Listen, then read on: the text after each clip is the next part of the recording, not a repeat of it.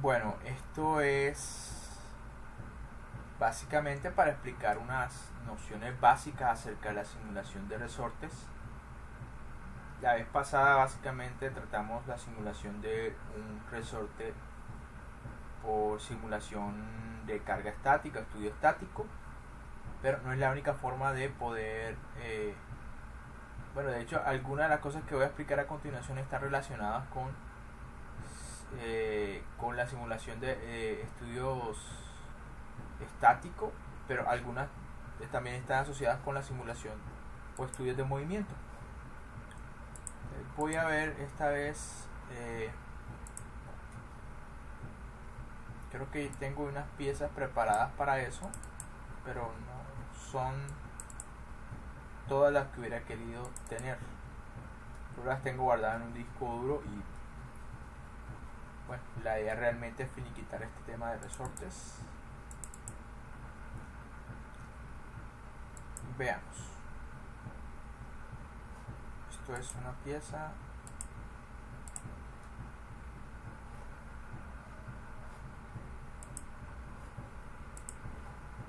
Veamos, forma de simular.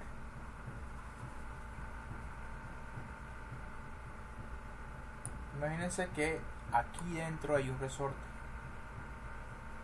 Esto pues representa un pistón, puede ser un amortiguador de una moto y este es un cilindro el cual se le ha hecho un corte para poder visualizar qué es lo que está sucediendo adentro. Aquí en la parte de estudio de movimiento sí, creo que se puede ver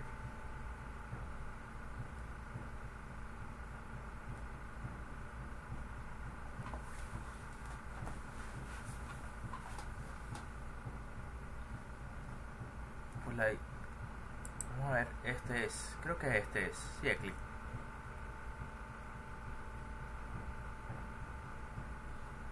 creo que uno puede correr esto y pues la idea es básicamente un pistón moviéndose de abajo que representaría la compresión de un de un resorte aquí lo que hace falta es como el resorte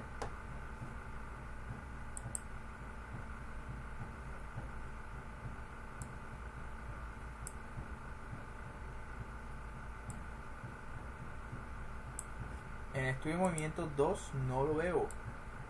Hay este elemento que representa la camisa y este que representa el pistón y un motor que es el que está controlando pues la operación del, del cilindro, pero no veo por ninguna parte un resorte. En estudio de movimiento 3 sí lo veo.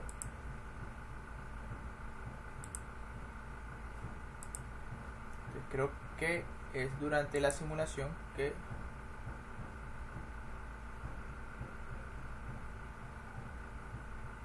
ahí está. Pero bueno, esto de pronto visualmente no es muy diciente.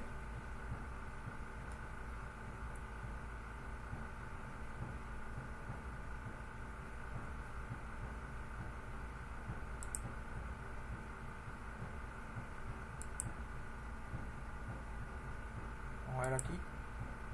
Simplemente no veo resorte. Bueno, listo.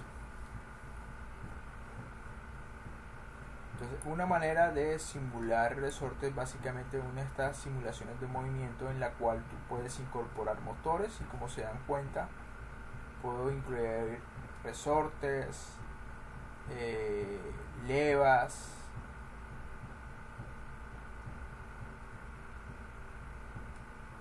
aquí porque creo que no está habilitada la opción de eh, debería aparecer algo así como análisis dinámico o algo similar. Y pues lo que yo podría ver de resorte acá sería básicamente cómo variarían las cargas en el resorte a medida que él se desplaza. Creo que esta información sí se encuentra aquí en este tutorial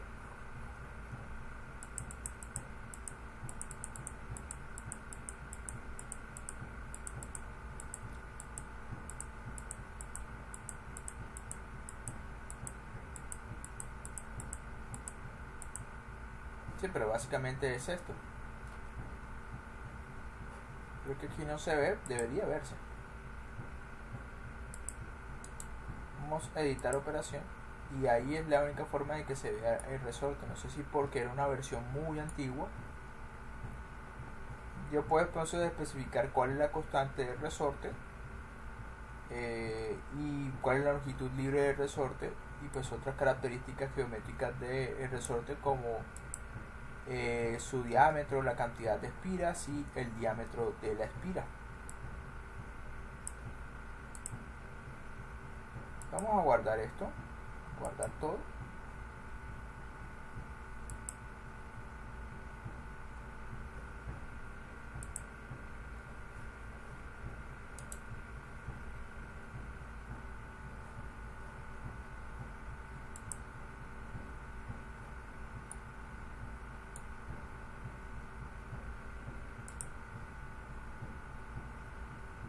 Vamos a calcular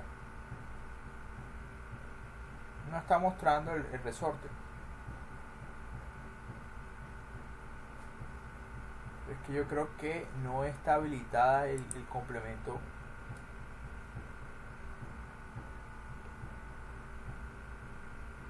Aquí está. Como que no está activado el complemento de SolidWorks Motion. Entonces si quisieras ciertas características eh, dinámicas o comportamental de fuerzas, eh, desplazamiento cosas de ese estilo, no lo puedes ver, salvo con la opción de análisis de movimiento.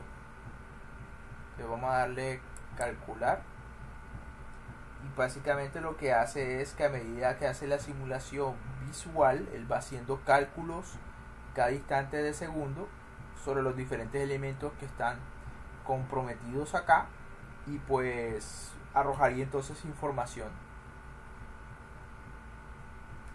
Resultados y trazos.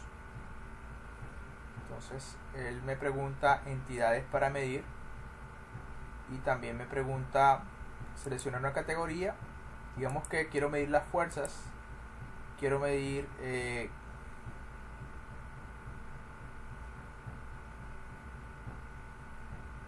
fuerza del motor, que debe ser básicamente el, quiero ver simplemente la magnitud. Y para el componente, pues la idea sería elegir el, el vamos a ver si obtengo un resultado ahí. Y bueno, básicamente ahí me está mostrando cuál es la fuerza que ejerce el motor sobre ese sistema pues a la velocidad que se desplaza. Él me puede proporcionar otra información. Nuevamente aquí y cada vez que yo hago algo, un trazo, entonces él me va colocando aquí la información que he graficado. Por ejemplo, ahora puedo colocar eh, momento, energía, electricidad y preguntar aquí por consumo de energía. Nuevamente voy a señalar el motor, el motor. Y parece que es suficiente con, con eso.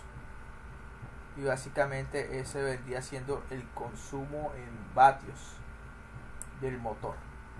Obviamente, pues básicamente lo que tiene que hacer es vencer la resistencia del resorte durante, durante el desplazamiento y por unidad de tiempo para determinar pues esa potencia.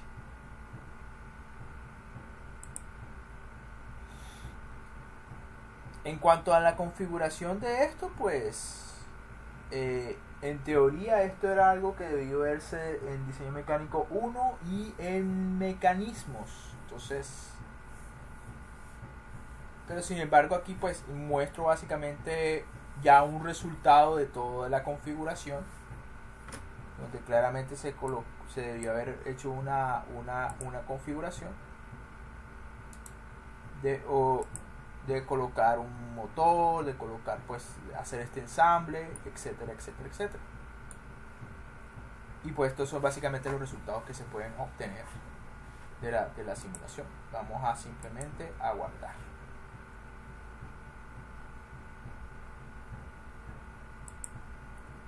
Usted si quisiera podría utilizar esta opción de configuración de simulación para utilizar estos resultados de esa simulación que es más bien dinámica más que otra cosa. Eh, realmente aquí lo que se puede hacer son cálculos de tipo dinámico, lo que usted dio en dinámica y si acaso en mecanismos, y, puede emplear eh, su teoría para hacer estos cálculos y compararlo con los resultados de esta simulación. Entonces realmente esto está eh, más bien en, relacionado es con dinámica y con eh, mecanismos. Entonces por eso no, no hago mayor eh, claridad al respecto, porque se supone que ya fueron temas que usted debió haber dado. Lo que sí quería hacer hincapié es que en este tipo de simulaciones también puede incorporar resortes que me van a afectar el comportamiento del sistema. Sin embargo, eh, en diseño mecánico 2 uno está como más preocupado por qué es lo que le pasa al resorte. Y aquí realmente no te va a mostrar qué es lo que le pasa al resorte. Le va a mostrar qué le sucede al resto del sistema, al motor, eh, etc. Si quieres, puedes utilizar la opción de configuración de simulación y te va a decir cuáles son los esfuerzos, pero de toda la estructura menos de resorte. Entonces, es como para medir los efectos dinámicos de un resorte en un sistema, pero no mide directamente los efectos en el resorte, sino de resorte sobre el sistema. Entonces, como para hacer esa claridad. Entonces, vamos entonces con los análisis estáticos. Como para mostrar otra forma en la cual se puede simular el resorte. Y es similar a lo que lo ha sucedido anteriormente. ¿Qué es lo que ha sucedido anteriormente? Yo coloco un, resorte en el sistema y el programa me permite ver los resultados sobre el resto del sistema, pero no sobre el resorte. Aquí es similar. Puedo emplear, eh, aquí ya hay una simulación estática configurada de hecho, en total hay unas dos. en esta, básicamente está empotrado esto en la parte de abajo. ¿sí? Y se colocan unos conectores. Dentro del cual está básicamente un, un resorte. Creo que yo uno puede ejecutar este estudio. ¿Sí?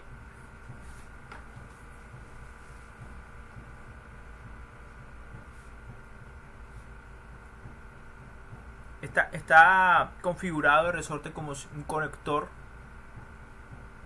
entre elementos de este ensamble. En este caso me parece que lo coloqué sobre el, el pistón y, y esta parte baja. Parece que no va a haber resultados.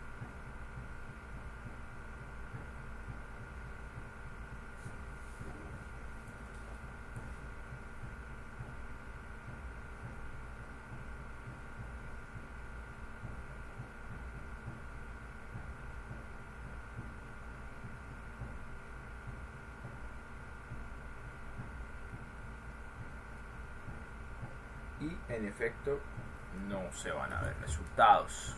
Parece que quedó... Pero bueno.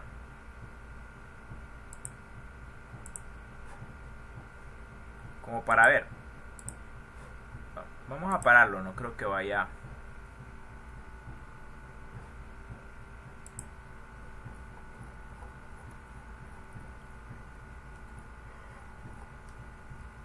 Esto para hacer hincapié en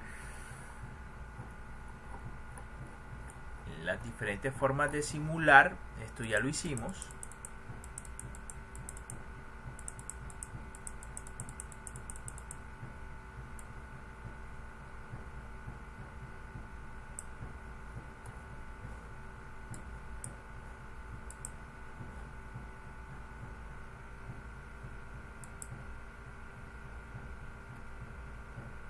No pasa nada.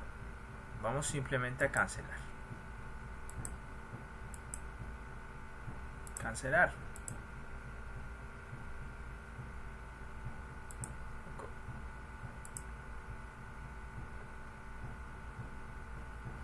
Entonces Veamos. He establecido un contacto entre componentes sin penetración y veamos que configuré. Básicamente el tipo de resorte, las caras en las que él está ubicado, la constante de resorte. Y ya, realmente no fue necesario, pues si era necesario explicar también que había una precarga en el, resorte. Y ya, no es más. El problema con esto es básicamente que aquí, al igual que en la simulación de movimiento, el estudio de movimiento, lo que voy a ver es más bien son los efectos de resorte sobre el resto de la estructura, pero al final no voy a poder deducir mayor cosa sobre el resorte. Eh, ni se se partió, ni, ni nada, ni su factor de seguridad, porque si se dan cuenta, aquí no me permite en ningún momento especificar nada que tenga que ver con la resistencia de resorte nada más su rigidez, pero eso simplemente me sirve para determinar los efectos del resorte sobre el sistema, pero no del sistema sobre el resorte. Entonces aquí no voy a poder hacer como en el tornillo o soldadura que obtengo información acerca de si se partió o no el tornillo o la soldadura. Aquí no me va a decir si se partió o no el, el resorte. Si quiero saber si se partió o no el resorte, tengo que hacer como hice la primera simulación del el tutorial pasado, donde literalmente tuve que hacer físicamente un resorte y someterlo a carga y pues ver y prescribir su movimiento y eh, básicamente eh, ver cuál es la intensidad de los esfuerzos dentro del resorte. Con el problema es que si de pronto el resorte es muy delgadito, los elementos de malla van a ser muy burtos y distorsionar su forma. Entonces aquí no voy a tener nada de eso análisis estático este decir tuvo resultados. No se controla los datos pero bueno si tuvo resultados quiere decir que debe ser relativamente fácil de simular. No sé qué cambio en la, simulación ocurrió ahí pero definitivamente como que es más fácil de simular.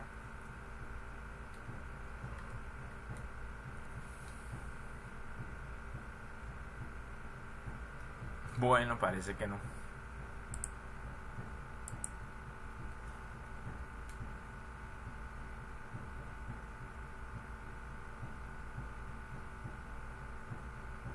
a ver, pero vuelvo y repito, eh, nuevamente el incluir el resorte como un tipo de conector, a diferencia de los tornillos y la soldadura, a mí no me va a permitir ganar información acerca de la resistencia de resorte, como si sucedía en el caso del tornillo de la soldadura.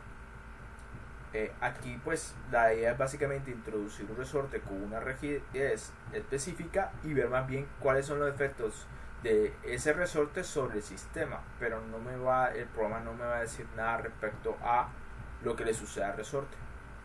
Entonces, de todas maneras quisiera terminar esta simulación y ver si de pronto es posible mostrarles que en efecto no puedo ver nada del resorte, o sea, no, no puedo saber si el resorte se rompió o no aquí pues la única forma hasta donde recuerdo yo para poder corroborar si el resorte falla o no es básicamente haciendo una simulación específica a un resorte, es decir, crear el sólido físicamente, someterlo a cargas, a restricciones, especificar un material, prescribir desplazamiento y ver qué sucede con el resorte en cuanto a sus esfuerzos y deformaciones.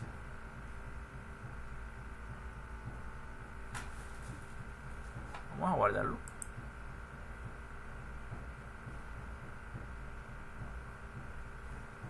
Miren, eso nuevamente lo de siempre, los esfuerzos en la estructura. Pero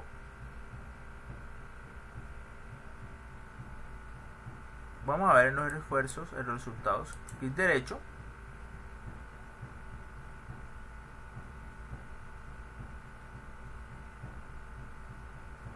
Recuerdan que había definir trazado de, del elemento para tornillo y soldadura, aquí no hay nada de eso. Por lo que les dije, él no me va a permitir saber nada respecto al resorte, si acaso la carga. Tensiones, desplazamiento unitarias, no, no lo hay. Tal vez ¿Cuál es la fuerza que ejerció el conector sobre la estructura? Enumerar fuerzas del conector. Mire, ni siquiera ni siquiera me permite ver el el elemento respectivo.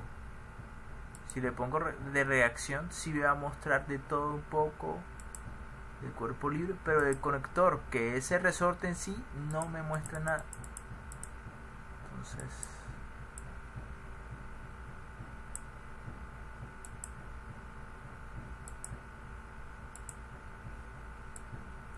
y debería aparecer al menos el, el resorte. Fuerzas de reacción. No me preocupa, no me pregunta por por elemento resorte en particular. De cuerpo libre, lo mismo. No me pregunta por el resorte. Simplemente me pregunta por todo lo demás, pero por resorte no. Entonces si acaso podría haber la reacción de resorte sobre esto, pero no. Eh, vuelvo y repito, eh, sería hasta más conveniente hacer la simulación en estudio de movimiento y después exportar esos resultados a una simulación de tipo estático.